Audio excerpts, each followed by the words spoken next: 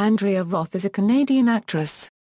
She is perhaps best known for her role as Janet Gavin, the wife of main character Tommy Gavin, on the FX television series Rescue Me, and, before that, the Diana Neurobrain character in RoboCop, the series.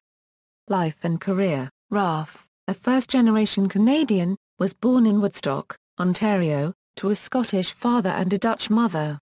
She debuted in the Canadian horror film The Club, directed by Brenton Spencer.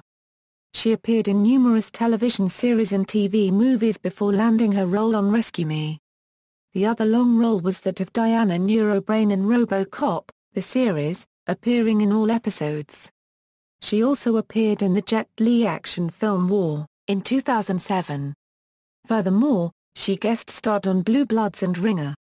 On March 29, 2010, Roth gave birth to a daughter named Ava Reese, with boyfriend Todd Bowerman. Roth and Bowerman married on October 7, 2011. Filmography equals film equals equals television equals. References.